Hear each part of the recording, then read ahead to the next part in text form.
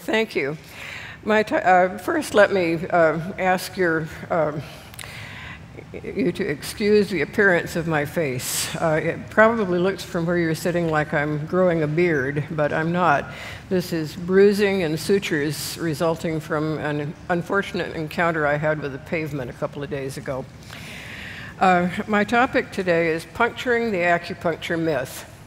This should be fun because I get to be a mythbuster, like uh, on the Mythbusters show on television. Um, Jamie Hyneman and Ad Adam Savage. Now, if you've ever watched that show, you know that they like to end their programs by blowing something up. So I want to reassure you that my talk won't involve any explosions. Now, I say reassure you, but uh, some people may be reassured, other people may be disappointed. Anyway, uh, I'd like to start with a taxonomy of pincushions. When we stick pins in dolls, we call it voodoo. When, when we stick pins in babies, we call it child abuse. When we stick pins in prisoners, we call it torture. And when we stick pins in patients, we call it alternative medicine. now, an acupuncturist might say uh, it was a jab well done. Acupuncture is probably one of the most popular forms of alternative medicine. But there really is no such thing as alternative medicine. There's only medicine that has been tested and proven to work, and medicine that hasn't. And if anything in alternative medicine had been really tested and proven to work, we wouldn't be calling it alternative medicine anymore, we'd be calling it medicine. Um, whenever I say that, someone says, but what about acupuncture? It's been proven to work, hasn't it? Doctors are using it. Uh, it's covered by health insurance plans. The American Air Force is teaching battlefield acupuncture to its doctors. But no, it really hasn't been satisfactorily proven. Um, the studies, um, the, the evidence is weak, it's inconsistent, flawed, unconvincing. And if you put all the evidence out there together, it is perfectly consistent with exactly what you'd expect to see if you uh, studied a complicated placebo. Now, almost everything you've ever heard about acupuncture is wrong. You've probably heard that it's an ancient Chinese treatment method that involves sticking needles in acupoints. You've heard that it's widely used in China that it works to relieve pain and nausea, that it works for other, other conditions like infertility, that it can be used instead of anesthesia for surgery, that it's harmless, it has no side effects, and that it's been validated by scientific research. Well, every one of those statements is false.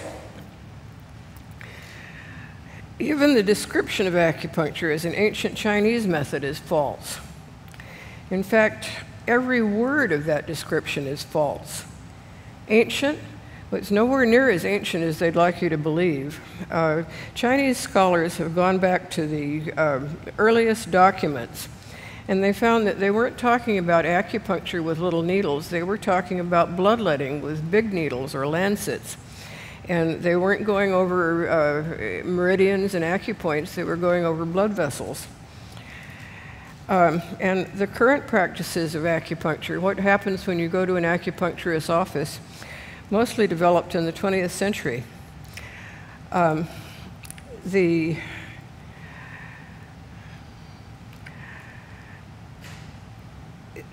ear acupuncture, which is what the American Air Force is teaching its doctors, was invented by a Frenchman in 1957. So you might as well say that it was uh, it's a modern French system rather than an ancient Chinese system. And it may not even be Chinese. Um, historians are thinking now that the ideas behind acupuncture may have actually come from ancient Greece and traveled to France over the trade routes. And even calling it a method is wrong because acupuncture is many different methods. When someone talks about acupuncture, the first thing you want to ask is, what do you mean by acupuncture? Which acupuncture? Do you mean the kind that uses needles? The kind that uses electricity with or without needles? Do you mean acupressure? Do you mean moxibustion and cupping at acupuncture points? Do you mean the system of acupuncture that implants little gold beads under the skin? Or do you mean the uh, acupuncture of Voll, electroacupuncture, which uses a biofeedback machine and a computer? And they put a probe on an acupoint, and the machine tells you what kind of homeopathic remedies you need to take. now, if you mean with needles, do you mean needles all over the body or needles just on the ear? Now, the pictures on the right show how ear acupuncture was developed. In 1957, there was a French doctor named Nogier, and he looked at the ear and he said, You know, that sort of looks like a fetus curled up in its mother's womb. Now, I've got to say, he has a much better imagination than I do. But um, he, he tried inserting needles in the appropriate point on the ear. If you had a pain in the leg, he would figure out where the fetus's leg would be on the ear and he would insert a needle there. And he convinced himself that it was working. And there are other whole systems of acupuncture that only use points on the scalp, the foot, the hand, or the tongue.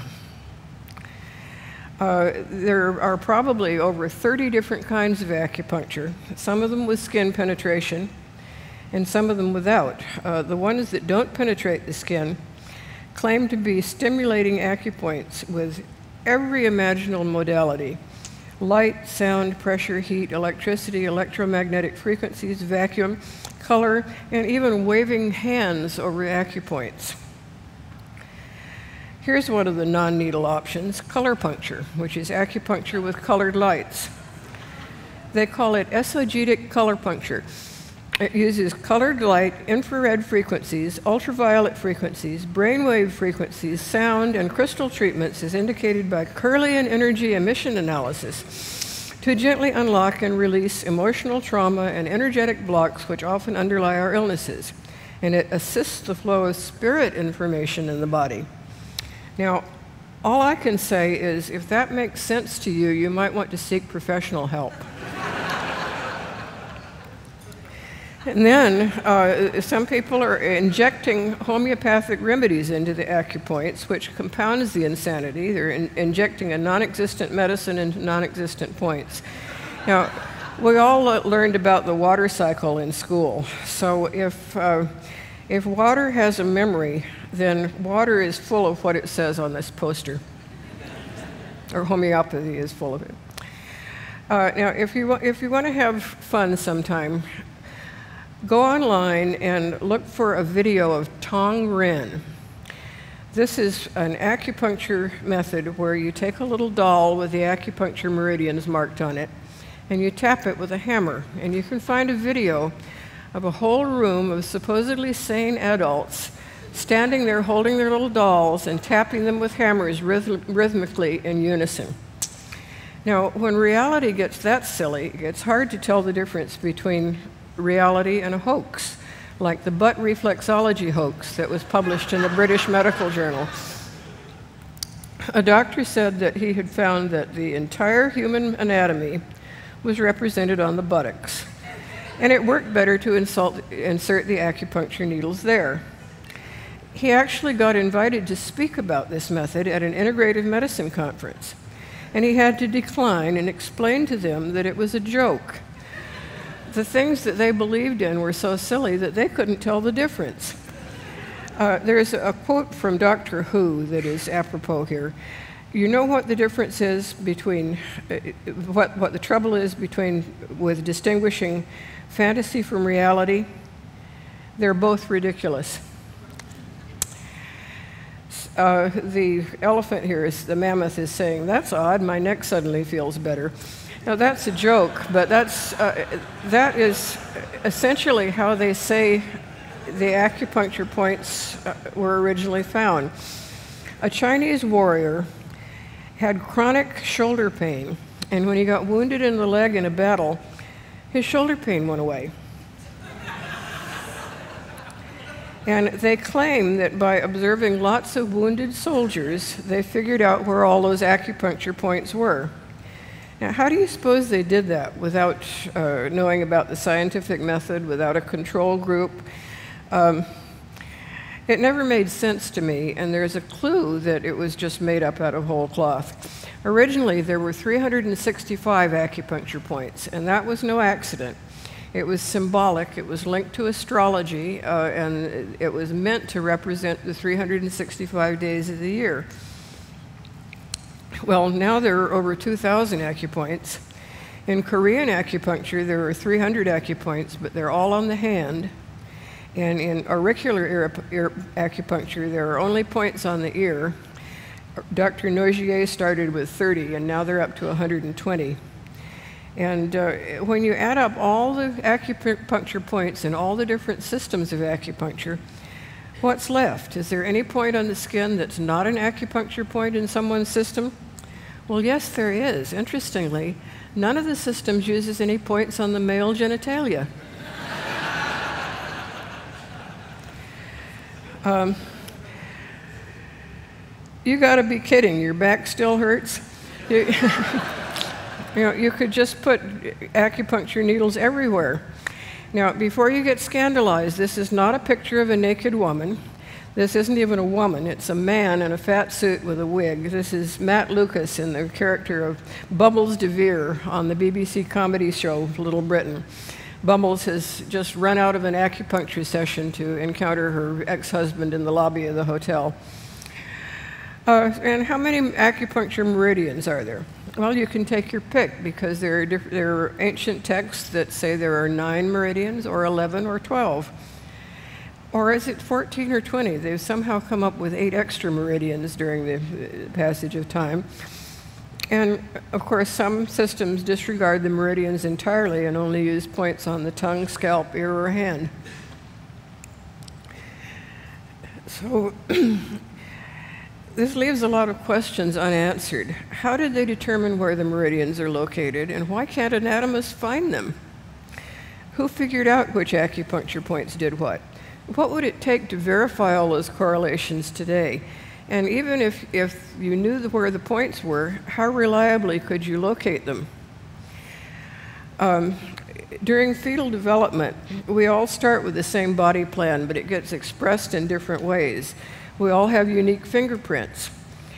Uh, the spinal nerves supply different parts of the skin, and that's variable from person to person. You might find a spot that would be supplied by the fifth cervical vertebra, fifth cervical nerve in one person, and by the sixth cervical nerve in another person. And um, some acupuncturists claim they can verify the acupoints by eliciting a sensation called de qi. But uh, in, in studies where no de qi symptom is, is elicited, uh, it seems to work just as well. So I'm not sure what that means. Now, I used to get allergy shots, and it, uh, it would be given by the same technician using exactly the same technique Sometimes it would hurt, and sometimes it would not hurt at all. And I think it was because sometimes it would be close to a skin nerve, and sometimes it would be in between the nerves. So there's, there's so much variability. You look at the back of your hands, your, the veins on the back of your hands don't even match. So, how reliably do you think an acupuncturist could find those points? I like to practice before I start acupuncture treatment. So, uh, with all of that variability, um, I, I don't see how they can be confident that they're hitting the right point. And then there's chi. Chi is a mythical vitalistic force that's alleged to throw, flow through meridians. You can't measure it, you can't even detect it, but it's great stuff. And if, when it gets blocked, it makes you sick. And if you can release the blockage with a needle, it res restores the flow of qi and restores your health. Now, in order to believe that acupuncture really works, you have to accept a lot of unproven assumptions. You have to assume that acupuncture meridians exist, that acupuncture points exist, that their location is consistent, that acupuncturists can reliably find those points, that qi exists, that disease is caused by the blockage of qi, that needles somehow affect the flow of qi, and all that somehow improves health. And in order to uh, uh, assume that acupuncture is a placebo, you just have to assume that, uh, that it works as a placebo. Now, it's a myth that acupuncture is widely used in China. It isn't. It was banned in China more than once. It was actually illegal to use it. And Chairman Mao restored it to, to uh, respectability during his Barefoot Doctor campaign. He couldn't afford to provide scientific medical care to the entire population.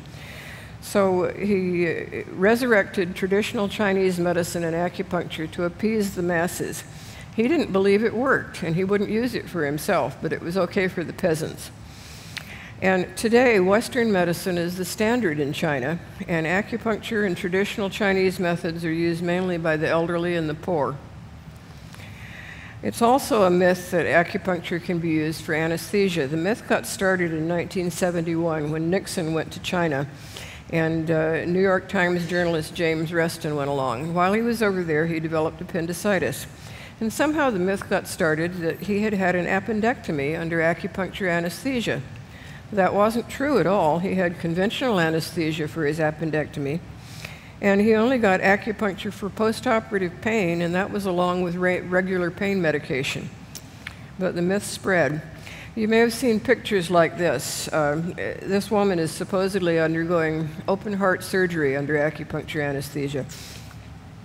The first time I looked at this, a couple of things struck me. For, for one thing, it, it doesn't look like the incision is quite in the right place in relation to the position of her head. And the bigger problem is she has an open chest cavity. When you open the chest, the first thing that happens is that air rushes in and atmospheric pressure collapses the lungs, and the patient can't breathe. So, where, where is the respirator? How are. I mean, this lady should be dead. and acupuncture is used for surgery in China today, but the patients also get local anesthetics and sedatives and narcotics, which do a pretty darn good job all by themselves. And patients are selected by strict criteria, and only about 10% of them are thought to be eligible for, for acupuncture. And there's a lot of psychological factors at work. There's strong suggestions, similar to hypnosis. Uh, the patients are motivated to please the authority figures, and often they're afraid of they'll be exiled from their job, home, or family if they don't cooperate. Uh, a colleague of mine, Kimball Atwood, is an anesthesiologist, and he's investigated acupuncture anesthesia in depth. He says, rather than being an important Chinese achievement, was acupuncture anesthesia more a form of torture perpetrated by a totalitarian government on its own citizens with the forced complicity of physicians? And what about animals? On the plus side, you've cured my back pain. uh, they say, oh, it works on animals, so it can't just be a placebo. But it can too. Animals can't tell you my pain is, uh, has gone from a six to a four on a scale of 10. Uh, the owners have to interpret the animal's behavior. And um, it may be that animals who have been treated get uh, handled differently. There's conditioning, like Pavlov's dogs. And acupuncture has been shown to release natural painkillers or endorphins in animals' brains. But this, that's the same thing that happens when you throw a stick for a dog or when you load a horse into a trailer. Uh, they have uh, acupuncture diagrams for all kinds of animals. Here's goat puncture, camel puncture, chicken puncture, even possum puncture. Now, I ask you, how many possums do you think the ancient Chinese studied to figure out where the meridians are? And how do you think they can find the right spots through all that fur?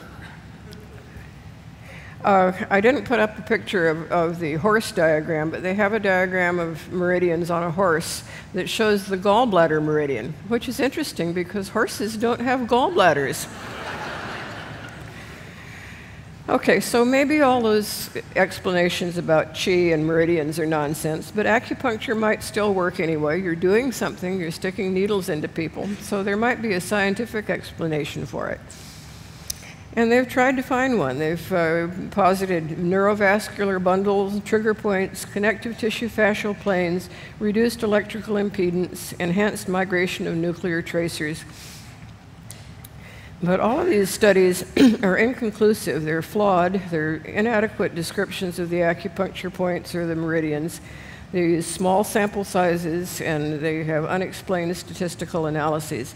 And nowhere do they build study on study to build up a body of, of evidence. The studies uh, get done, they never get replicated or built into a, a solid body of evidence.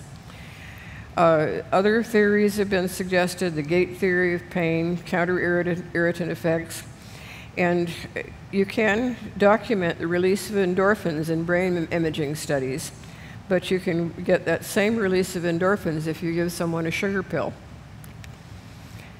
Uh, they did a neat study in Japan in 2000. Uh, they had a, a model of pain in mice, and they tried three different methods to block the pain acupuncture, moxibustion, which is burning mugwort on the skin at acupuncture points, and pinching the mouse's tail with a hemostat. Guess which one worked better? Pinching the tail with a hemostat. and acupuncture even works on rubber arms. They've, uh, they've set up a, uh, an illusion with mirrors so that it, it, it looks to the patient like a rubber arm is their own arm. And when you stick an acupuncture needle in the rubber arm, you get the same findings on brain imaging as if you stick a, an acupuncture needle in the patient's own arm. The brain is responding to expectation and to visualization of penetration, and the actual penetration with the needle is unnecessary. Now, the medical letter has looked into the scientific rationales, and they found that acupuncture has been shown to increase endogenous endorphins, but Functional MRI studies show effects on central analgesic pathways, but it's not clear that those same effects couldn't be achieved by needling or electrical stimulation at non acupoints.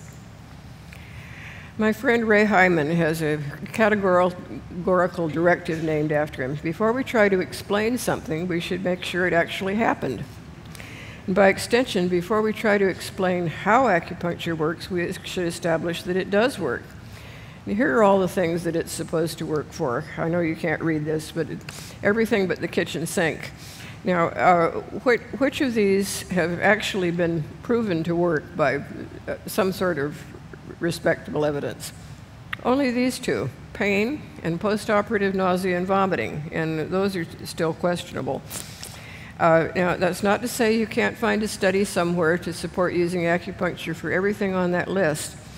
But in medicine, it isn't enough to find one study.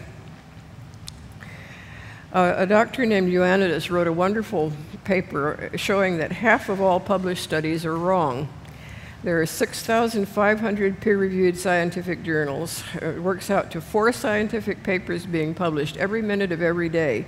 So it's not surprising that you could find a study to back up almost anything you wanted to believe. Now, when a popular but ineffective treatment is studied, false positive results are common for a number of reasons, including bias and low probability.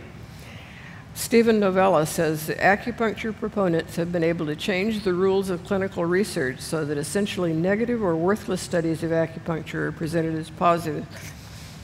Um, now, recent acupuncture studies with good sham controls have shown that it doesn't matter where you put the needles, it doesn't matter whether you use needles or pretend to use needles. All that matters is whether the patient believes in acupuncture and believes you got the real thing. If you got acupuncture but think you didn't, it won't work. If you don't get acupuncture but think you did, it will work. Um, now, studies have shown that sham acupuncture works the same as real acupuncture. They've done studies with retractable needles in a sheath, uh, kind of like a stage dagger. And they even did one study with toothpicks that showed that just touching the skin with a toothpick worked as well as inserting an acupuncture needle. So the acupuncturists saw this uh, result and they said, oh, well, we know acupuncture works, so gee, sham acupuncture must work too. Um, and they found that light touch and caressing the skin can also relieve pain. But that just destroys the whole rationale for acupuncture. Instead of all that rigmarole with needles and meridians, why not just give the patient a massage? Uh, there was a study of heartburn where they compared acupuncture to doubling the dose of the heartburn medicine, and they didn't use a control group. And here's their rationale for not using a control group. We did not add a sham acupuncture arm to this study because of the increasing recognition in the acupuncture literature that superficial needling of the skin, sham needling of non acupuncture points, and placebo needling with blunt tip that does not penetrate the skin, acupuncture, also provide an active therapeutic effect. This is particularly the case in pain. Light touch and caressing may activate the C tactile afferents that alleviate unpleasantness and reestablish patients' sense of well being. Therefore, neither minimal, superficial, sham acupuncture nor placebo needles may be regarded as placebo because they are not inert. Now, wait a minute. There's, there's, a double standard here. What if we had a pain pill that didn't work any better than a placebo sugar pill? Would we assume that the sugar pill worked and that it wasn't really a placebo, but it was an effective drug? I don't think so. Um, the results of acupuncture trials are questionable because they don't rule out all the possible confounders the, the sur surrounding ritual, the beliefs, all the non-specific effects of treatment, the attention, expectations, suggestion, TLC, relaxation, hands-on treatment, all that has an influence. Here's an example of a questionable study. The Cactus study was a pragmatic trial that compared usual care to usual care plus acupuncture. It was poorly designed and it didn't use any placebo acupuncture controls. And it concluded that acupuncture worked. Uh, David Colquhoun has analyzed this study. I'm, afraid you won't be able to see this on, uh, on the screen very well, but there are four graphs there showing the outcomes from four things they measured in, this, in the study. Um, the pink line is the control group, and the blue line is the acupuncture group. Sometimes the pink is on top, sometimes the blue is on top, and they stay very close together throughout. And David Colquhoun said that although the study was uh, designed to be susceptible to almost every form of bias, it still shows staggeringly small effects. It is the best evidence I've ever seen that not only are needles ineffective, but that placebo effects, if they are there at all, are trivial in size and have no useful benefit. He said this paper was published with conclusions that appear to contradict directly what the data show. Now, there's a place for pragmatic studies because when you do a research study, you want to minimize possible confounders, so you have criteria for accepting sub subjects into the study. And they tend to be healthier and on fewer medications than the average person who walks into a doctor's office. So once you've established that something works with a clinical trial, then you want to take it out into a real world setting and see what actually happens in practice. Uh, for instance, clotbuster drugs worked really well in the studies, but when people started using them extensively in emergency rooms, they ended up causing more strokes from bleeding complications. And pragmatic trials are not appropriate for complementary and alternative medicine treatments.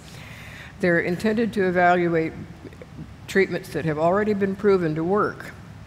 And pragmatic trials don't provide any objective evidence that a treatment works better than placebo. But CAM ad advocates love pragmatic studies because they allow the placebo effects to shine.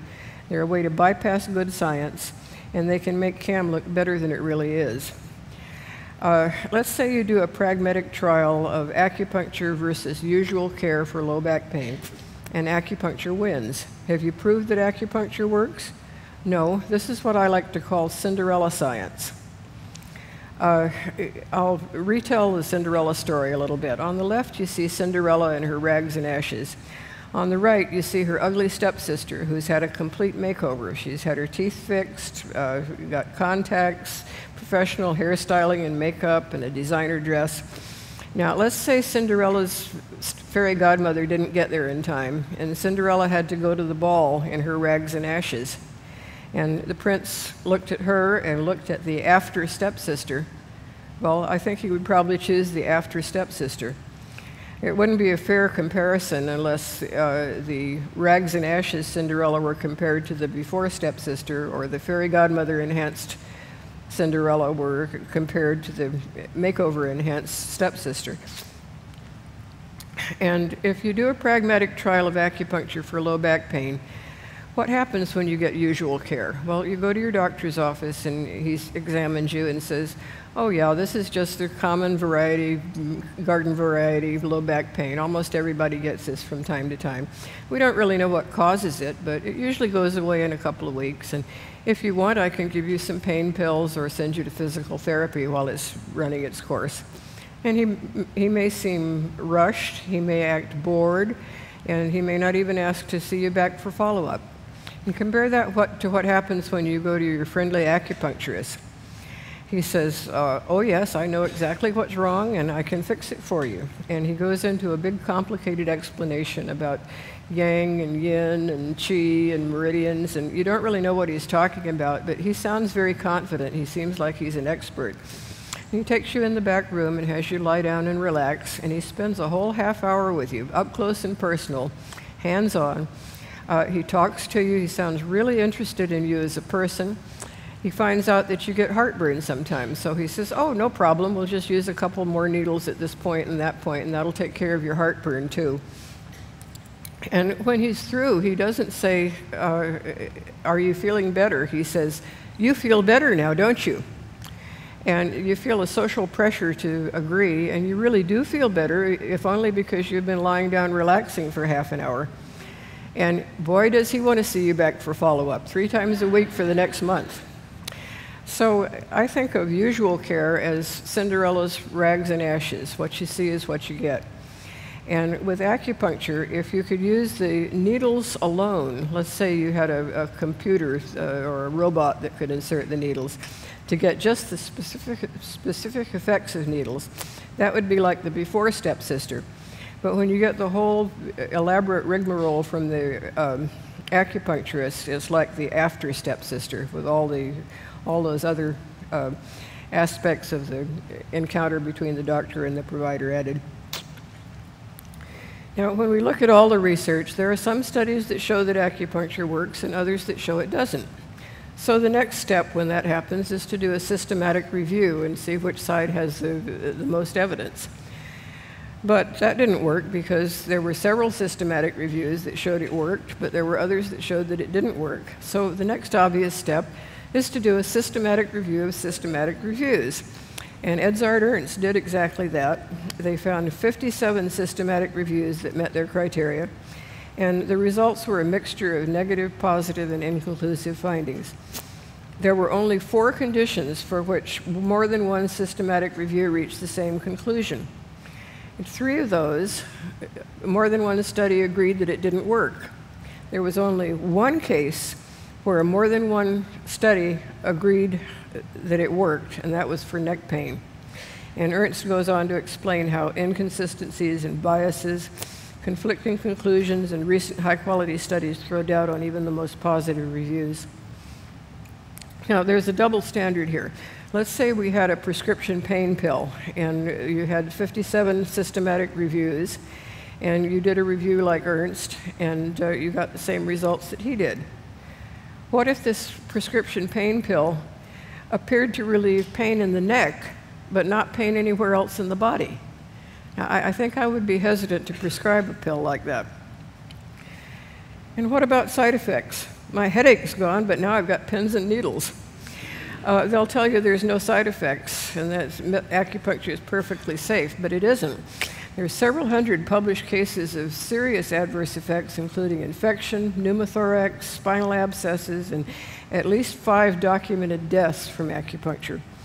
Uh, there was a case where an acupuncture teacher was demonstrating proper technique to a class, and he managed to stick a needle into the chest, into the lung, and collapse the patient's lung right in front of all of his students.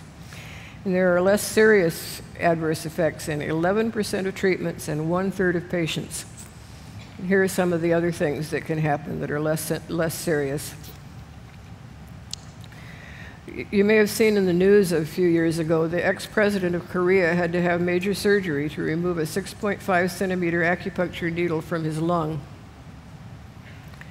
And there are contraindications. You shouldn't have acupuncture if you're allergic to metals, if you have bleeding disorders, if you're on anticoagulant drugs, if you have skin infections.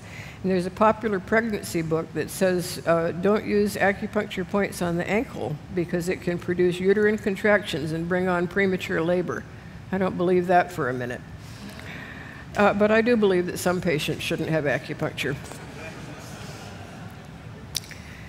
And then uh, some of them will say, well, even if it's only a placebo effect, why not use it anyway? Patients say they feel better. That's what we want. We want people to feel better. Well, in the first place, placebos are unethical, and there's a small possibility of harm for very, very little, if any, benefit.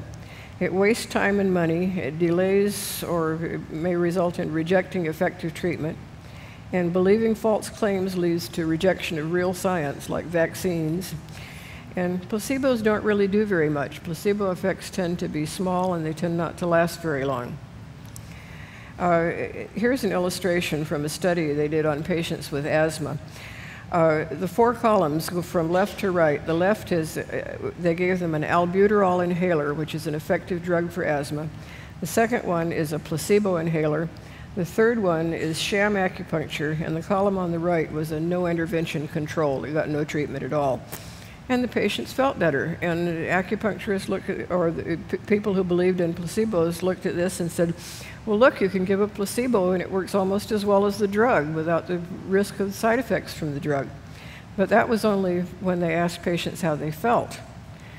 But the patients weren't really better uh, when they looked at uh, the objective measurement of lung, uh lung function only the albuterol made a difference, and the placebos made no difference at all. There was no difference from the uh, group that got no treatment at all.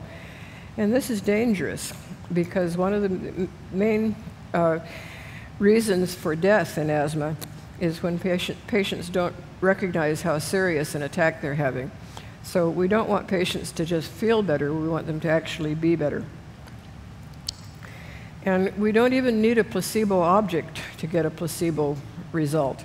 They did a study with four groups. Two of them got placebos, two of them didn't. And two of them got positive consultations where the doctor was uh, very positive. He said, well, I'm sure we've got the right diagnosis, I'm sure this is going to work. And the other two got negative consultations where the doctor was more wishy washy and uh, didn't seem as confident about the course of the disease. And both of the groups with positive consultations did better than those with negative ones. And neither group with placebo did better than the groups without placebo. So it's not giving the patient the placebo, or giving the sugar pill, or sticking the needles in the patient. It's the way it's presented to the patient that matters. Know, the Center for Inquiry has looked at acupuncture and they've come up with a statement. And uh, they they concluded the bulk of recent research strongly tends towards the hypothesis that acupuncture's positive effects are mainly due to, a, to built in expectation. And the medical letter looked at it in 2006, and they said acupuncture alone has not been shown in rigorous duplicated studies to benefit any medical condition. Now, enough is enough. When, when a treatment has been extensively studied for decades, like acupuncture has, and the evidence continues to be inconsistent, it becomes more and more likely that the treatment is not truly effective. Now, they always say more studies are needed, but our research money is limited, and there are much better ways to spend it. The bottom line is there is no credible evidence that acupuncture works for anything other than pain and postoperative nausea and vomiting, and it may not really work for those. And any improvement we see with acupuncture is most likely due to the non-specific contextual treatment effects. It has nothing to do with acupuncture points or needles. Uh, to sum up, acupuncture is a theatrical placebo. Now, I wrote an article about this in Skeptic magazine. And one acupuncturist wrote me an email He said, uh, Your article about acupuncture made me angry. Uh, I thought that you had to be wrong because I knew there was research. I knew there was evidence, so I went to look it up. And I didn't find it. And in trying to prove you wrong, I proved myself wrong. And I have gradually let go of the belief that acupuncture has any basis for treating anything. And he told me that he was giving up the practice of acupuncture and was going to look for another way to make a living. Now, if it's true, if it's true that laughter is the best medicine, maybe this is the kind of acupuncture we ought to try. That's all I've got. Uh,